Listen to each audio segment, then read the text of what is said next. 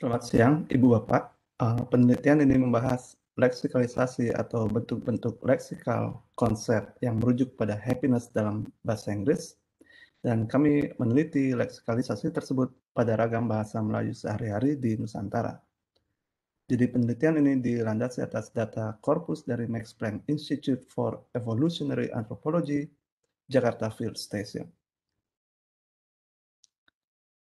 Oke, saya akan memulai dengan membahas konsep leksikon dan leksikalisasi sebelum membahas rumusan masalah atau tujuan makalah uh, kali ini. Kemudian uh, dalam aspek metodologi, kami akan mengenalkan lebih jauh data korpus yang uh, saya sebutkan tadi. Kemudian membahas hasil penelitian ini diakhiri simpulan.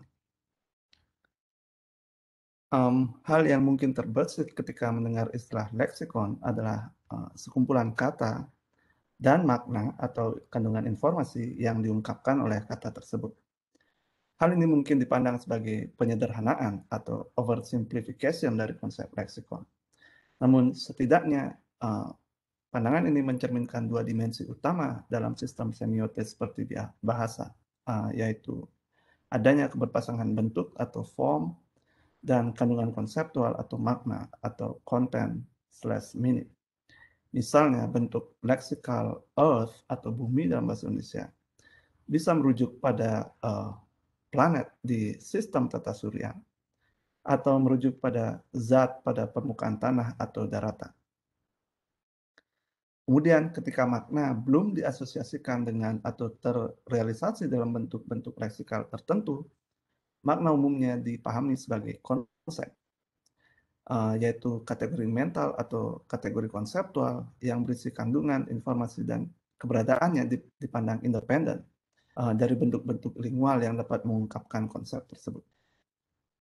Dari ulasan ringkas terkait uh, leksikon tadi, uh, leksikalisasi dapat dipahami sebagai uh, suatu cara bagaimana konsep atau kategori konseptual dihubungkan atau terrealisasi dalam bentuk leksikal dalam suatu bahasa. Di makalah ini kami mengikuti pandangan dari Brinton dan Traugott bahwa uh, leksikalisasi adalah pengungkapan atau encoding leksikal dari suatu kategori konseptual. Seperti misalnya konsep saudara perempuan ayah dan ibu. Uh, konsep ini dapat dileksikalisasikan atau direalisasi secara leksikal oleh kata on dalam bahasa Inggris uh, atau kata bibi dalam bahasa Indonesia. Jadi uh, tujuan makalah ini adalah mengamati leksikalisasi konsep emosi, khususnya kebahagiaan, di sejumlah bank data atau korpus ragam bahasa Melayu sehari-hari di Nusantara. Selain itu, makalah ini uh, utamanya bersifat eksploratif dalam hal pemanfaatan korpus yang ukurannya besar untuk ragam bahasa Melayu di Indonesia, dan aspek analitis apa yang dapat ditawarkan dari kekayaan informasi yang terdapat dalam korpus tersebut. Jadi dua hal spesifik yang kami teliti adalah hasanah bentuk leksikal dan kategori konseptual yang merujuk pada konsep happiness dalam bahasa Inggris. Kemudian variasi bentuk-bentuk leksikal dan konsep yang dirujuknya itu apa saja. Jadi uh, kami memusatkan variasinya uh, pada dimensi kuantitatif dan kualitatif seperti misalnya dimensi sosiolinguistik, khususnya variasi regional dari uh, unsur leksikal yang merujuk pada konsep happiness tersebut. Jadi uh, sejak 2015, Max Planck Institute yang berbasis di Jakarta telah membuat uh, data proyek dokumentasi bahasa mereka terbuka untuk umum dan bisa diakses melalui tautan di atas. Jadi korpus ini bisa kita unduh dan nanti unduhannya uh, berupa berkas tabel dalam format CSV atau comma separated value. Dan uh, masing-masing berkas CSV ini ditunjukkan oleh tiap-tiap kotak di um, pada diagram ini. Ya, jadi masing-masing kotak ini adalah tabel CSV yang berisi uh, data di dalam korpus uh, Melayu sehari-hari. Kemudian kita bisa lihat misalnya di kotak CSV uh, eh, di kotak di dalam diagram ini ada informasi tentang word list misalnya ataupun informasi tentang words, uh, data terkait partisipan dan nama bahasa, uh, daerah di mana bahasa itu digunakan, dan informasi lainnya yang kita lihat di diagram ini. Kemudian uh, kita lihat bahwa diagram ini berisi data yang terpisah, namun masing-masing tabel uh, dari yang terpisah ini bisa kita satukan secara programatis dengan mencocokkan penanda atau ID untuk tiap-tiap tabel. Sehingga nantinya terbangun bank data dengan informasi yang yang menyatu, yang utuh. Kemudian dari keseluruhan database ini kami menyaring hanya ragam Melayu sehari-hari Uh, dan ragam ini ditandai dengan kode penanda family bahasa atau uh, kelompok bahasanya Melayu yaitu M. Dan kami juga menyaring nama bahasa yang berisi label Malay di, di datanya.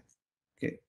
Jadi ukuran total dari subkorpus ragam Melayu ini adalah 5 juta lebih kemunculan kata yang terdiri dari 1200 sesi rekaman atau sesi uh, pengumpulan data.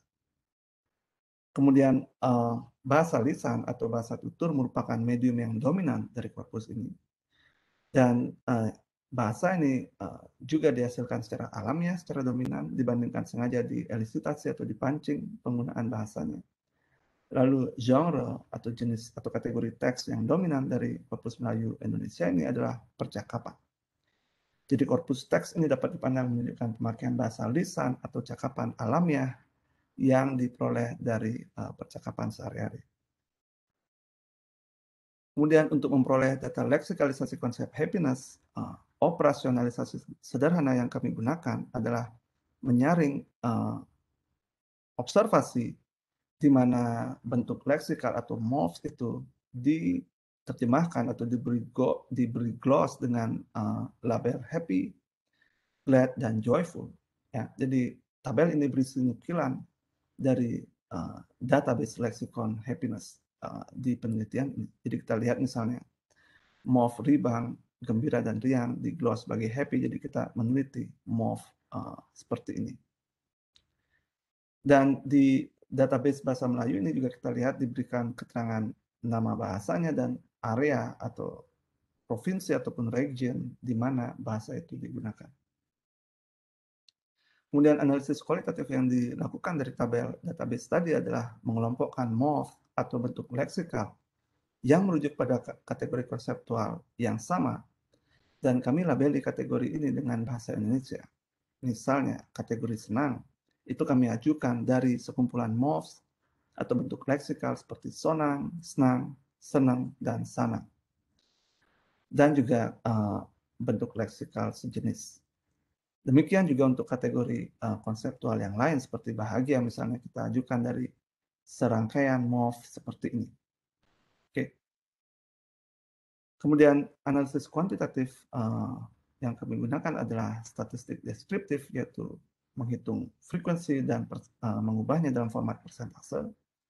Dan rancangan uh, distribusi statistik yang kami gunakan adalah distribusi variabel tunggal, dan distribusi variabel ganda atau variabel uh, bivariate design. Uh, kami juga menggunakan teknik visualisasi geospasial untuk memetakan distribusi dari konsep kebahagiaan atau happiness berdasarkan daerah di mana konsep tersebut ditemukan. Untuk variabel tunggal, kami melihat proporsi dari total leksikon yang merujuk pada suatu konsep. Jadi tujuannya untuk menilai tren dominan suatu konsep pada ragam korpus secara keseluruhan. Untuk variabel ganda, kami mentabulasi silang proporsi suatu konsep berdasarkan distribusinya di tiap-tiap daerah yang direpresentasikan di dalam korpus yang kami gunakan. Tujuannya adalah untuk menilai dominasi relatif suatu konsep berdasarkan daerahnya.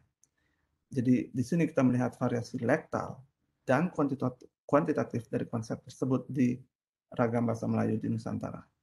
Kemudian hasil dari uh, tabulasi silang ini kami visualisasikan dalam bentuk peta geospasial. Jadi ini adalah temuan pertama yang mengulas distribusi konsep happiness uh, di korpus yang kami gunakan. Secara keseluruhan kita belum melihat uh, pemecahannya berdasarkan daerah. Dan uh, konsep lima teratas itu ditunjukkan oleh persegi warna merah.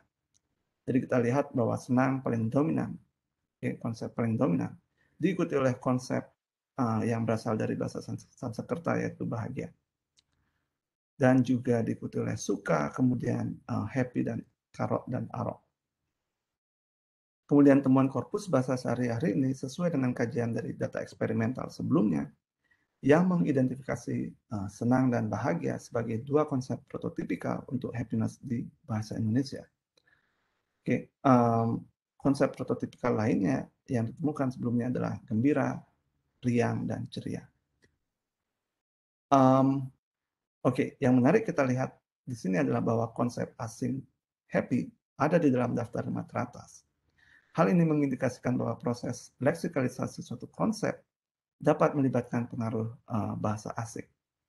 Lalu konsep uh, terakhir di lima teratas yaitu karok dan arok itu hanya ditemukan di ragam Melayu tradisional, yaitu uh, bahasa Kerinci di daerah Sungai Penuh dan Pulau Tengah di Provinsi Jambi. Kemudian ini adalah uh, temuan kedua uh, yang memetakan distribusi uh, konsep kebahagiaan di lima teratas itu berdasarkan region. Um, Oke, okay. jadi kita bisa lihat misalnya bahwa senang uh, di sini uh, selain bersifat dominan secara umum, senang juga terdistribusi luas di sebagian besar area yang diteliti, ya, dari barat Indonesia hingga ke timur Indonesia. Begitupun juga dengan konsep uh, happy dan juga bahagia.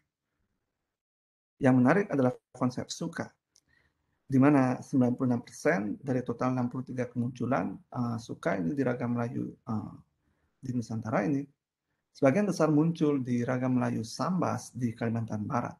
Dengan kata lain, leksikon atau bentuk leksikal dan morf yang merujuk pada konsep suka dan diterjemahkan sebagai happy tidak ditemukan pada daerah lainnya selain di Kalimantan Barat ini dan juga di Nusa Tenggara Timur. Itu hal yang menarik. Um, kemudian kita juga fokus pada tataran yang lebih spesifik dari sekedar kategori konseptual yang kita lihat tadi. Misalnya melihat distribusi morfem atau bentuk leksikal untuk tiap-tiap konsep di berbagai daerah. Jadi di sini kita lihat distribusi uh, morfem yang merujuk pada kategori senang. Satu pembahasan kualitatif yang dapat kita lakukan di sini adalah uh, misalnya kita bisa melihat ada variasi fonemis dari leksikalisasi senang utamanya uh, variasi ini muncul pada suku pertama dan kedua. Jadi misalnya kita lihat penggunaan fonem vokal, uh, oh sorry, perbedaan penggunaan fonem vokal pada kedua suku kata tersebut. Oke, misalnya uh, di Jawa Barat ada senang, di NTT ada senang, di uh, Maluku Utara ada sana. Ya, perbedaan uh, fonem vokal pada kedua suku kata dari uh, leksikalisasi senang di sini. Kemudian di daerah Jambi ada juga variasi dalam penghilangan uh, fonem pada suku kata pertama seperti senang dan senang. Um, kemudian aspek variasi kuantitatif juga kita bisa amati di sini. Uh, di antaranya adalah jumlah varian dari morfem untuk tiap-tiap daerah. Hal ini ditunjukkan oleh perbedaan warna dari morfemnya. Misalnya di Sumatera Utara, Jawa Barat, dan Maluku Utara, hanya terdapat satu tipe bentuk morfem yang merujuk pada senang. Kemudian jika kita lihat di Kalimantan Barat dan Jambi, uh, kedua daerah itu memiliki varian tipe terbanyak yaitu empat varian untuk senang. Jadi misalnya di Kalimantan Barat ada senang, senang, senang, dan senang. Oke, aspek lain adalah frekuensi kemunculan tiap-tiap tipe varian yang juga berbeda. Misalnya di NTT, Nusa Tenggara Timur ada tiga tipe varian, yaitu senang, senang, dan senang. Namun varian senanglah yang paling dominan dan dominasi ini di peta ini kita tampilkan berdasarkan ukuran uh, font, ukuran uh, katanya ya. Jadi semakin besar ukuran katanya semakin dominan frekuensinya. Oke, okay, uh, sebagai simpulan kita lihat bahwa senang adalah kategori konseptual dominan untuk happiness di korpus ragam bahasa Melayu sehari-hari di Indonesia, temuan yang secara intuisi tidak mengagetkan ini sejalan dengan studi eksperimental sebelumnya yang dilakukan oleh Saver dan kawan-kawan untuk bahasa Indonesia. Kemudian kita juga menemukan variasi regional untuk distribusi tiap-tiap kategori konseptual untuk happiness. Uh, misalnya ada perbedaan uh, jumlah konsep atau tipe konsep masing-masing daerah dan juga frekuensi kemunculan untuk masing-masing konsep di masing-masing daerah itu berbeda. Kemudian pada tataran bentuk lingual dari konsep tersebut ditemukan juga sejumlah variasi kualitatif dan kuantitatif, seperti misalnya uh, perbedaan struktur fonemis, morfem untuk tiap-tiap konsep dan juga uh, jumlah tipe varian dan frekuensi kemunculan varian itu di tiap-tiap daerah. Baik, uh, sekian presentasi dari kami dan uh, terima kasih atas perhatiannya. Kami menantikan masukan dan juga tanggapan dari Bapak.